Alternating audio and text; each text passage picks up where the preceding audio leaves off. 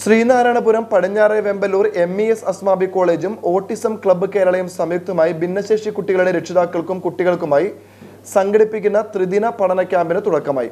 ഭിന്നശേഷി കുട്ടികളിൽ ഗണിതശാസ്ത്രത്തിൽ കഴിവുകൾ ഉയർത്തുവാനും അത് തൊഴിൽ സംബന്ധമായ രീതികളിൽ എങ്ങനെ പരിശീലിപ്പിക്കണമെന്നതാണ് ക്യാമ്പിന്റെ ലക്ഷ്യം.